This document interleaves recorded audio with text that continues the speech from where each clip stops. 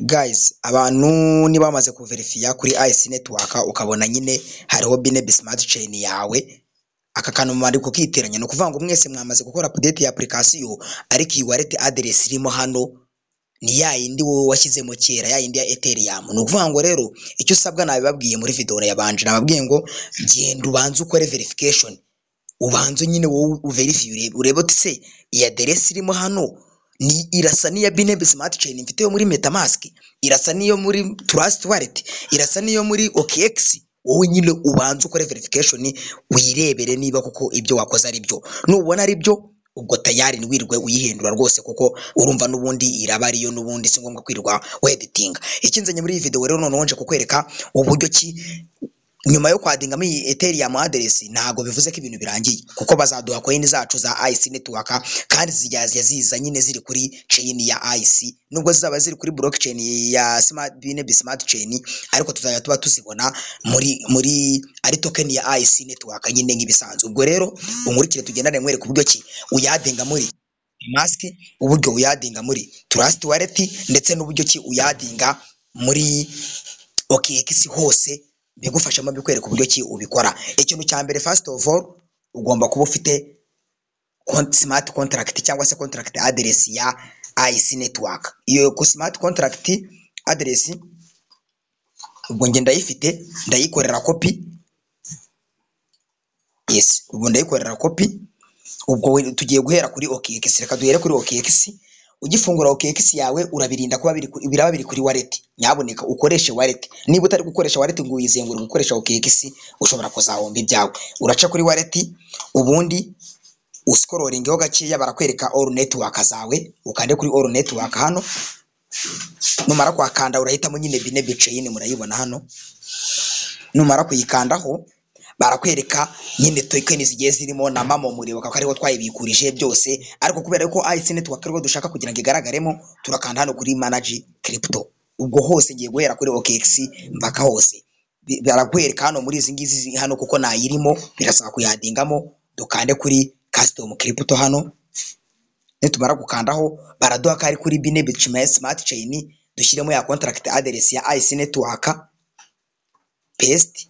Nitumara kwishyiramo ubundi hano simbona simo rwose nzi ko ubundi umuntu atajya yirirwa abishyiramo ukibikandaho automatique ufite network nyinshi rwose byizanamo.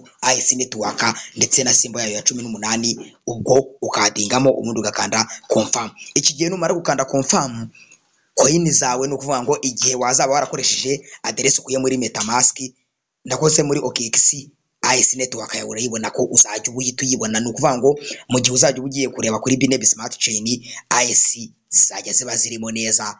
Tanu kwa tanu. Ndakeka muri ko murabibona neza cyane. Twagiye muri Trust Wallet iri hehe? Ngiyi turayikandaho. Ni ukuvuga ngo ugifungura Trust Wallet yawe reka mbanze nkuremo na password. Yes. Igifunguka murabona barakwereka smart nuza nyine chain zose zirimo cyangwa se crypto urayibonamo ya BNB iyi ngiyi urayikandaho. Numara kuyikandaho turiko turagendana uraza gukanda hehe uraza gukanda kuri mowa. Ah ah sorry nari nibeshye gatoya.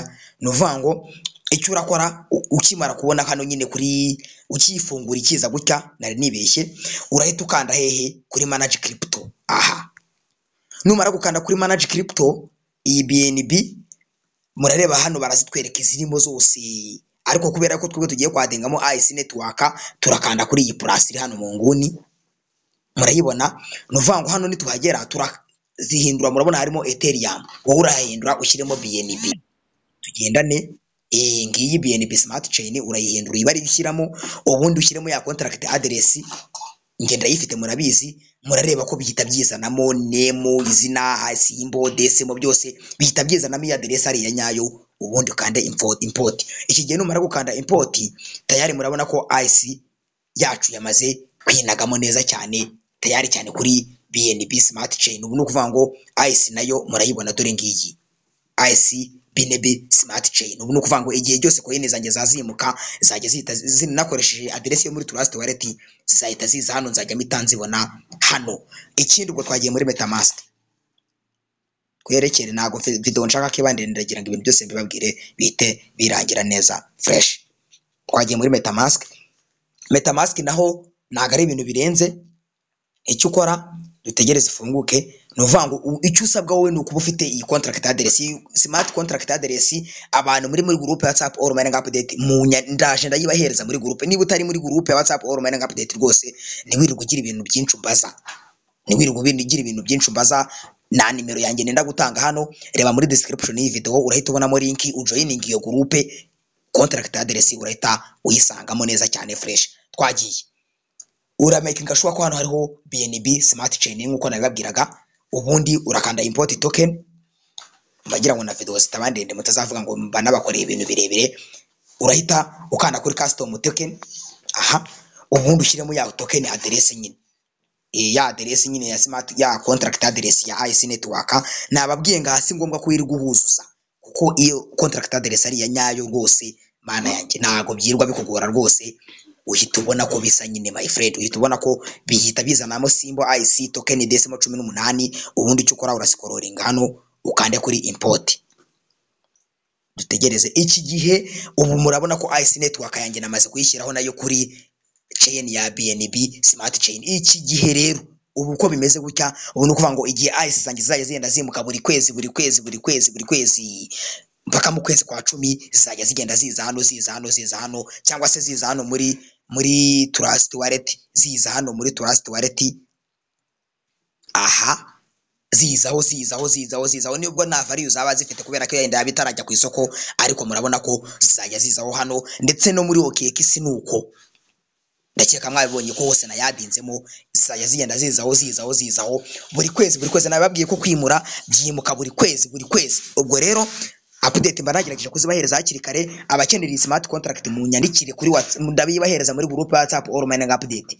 Niba utari muri iyo groupe reba muri description y'iyi video uhita ubonamo link ujoining iyo groupe ujye ubasha no kujya ubona amakuru y'ingenzi ahora asohoka buri munsi duhora dusohora amakuru rwose amakuru ahora ahari yaba amapositi yaba ibiki byose tubinyuza kuri iyo nuzu ubwo rero smart contract ndayibafitiye abashoboye kuyishakira mujye kuri coin market camp mujye kuyireba nta kibazo. Ikintu ngombwa ni uko wowe wamaze gukora KYC phase 1 ugakora KYC phase 2 ukaba wamaze kwadingamo iyi BNB smart chain address waba wakuye muri OKX waba wayikuye muri MetaMask waba wayikuye muri Trust Wallet aho hose haremewe. Abantu muza mumbaza ngo exchange zindi ngo Binance ngo izo ngizo niro wazikubwiye.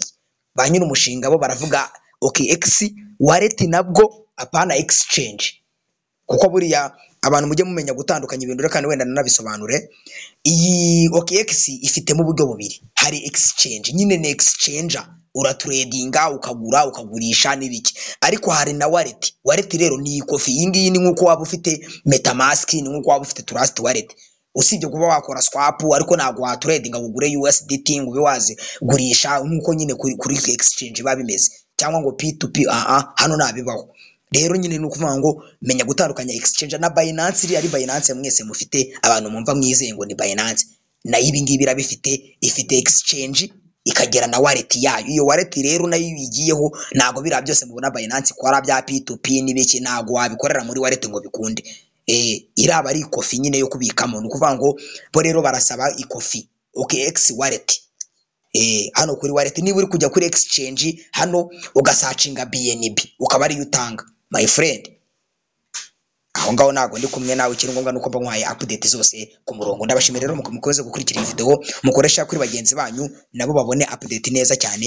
Ubundi ibindi byose tuba turi kumwe hano kuri All Mining Update ndetse no kuri group ya WhatsApp All Mining Update hose ndahabaye kugira ngo njye mbafasha tanu kwa tanu mukomeze mugire ibihe byiza rero keep mining kandi iyi IC turayirya mu minsi mike cyane rwose. Mwitegure iyi turayiriye.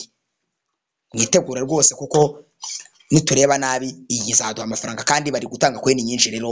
Keep mining ibyiza biri imbere cyane ku bamaze gukora KYC phase 1 na phase 2 mwitegure kubikuza ndabashimiye cyane rero ibihe byiza kuri mwe mwese.